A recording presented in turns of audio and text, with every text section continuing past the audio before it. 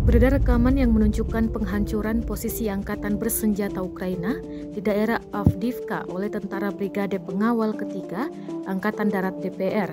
Dalam rekaman yang diunggah di Telegram pada Senin 23 Mei 2022 terlihat dengan jelas keefektifan quadcopter dalam menyelesaikan artileri, melakukan pengintaian dan mengirimkan pandangan secara online selama pertempuran.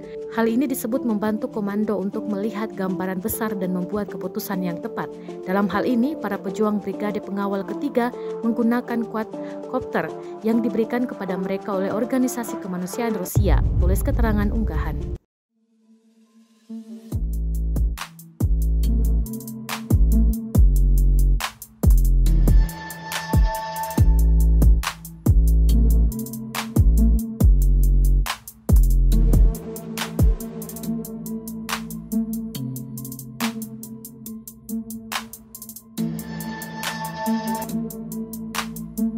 Terima kasih sudah nonton. Jangan lupa like, subscribe, dan share ya.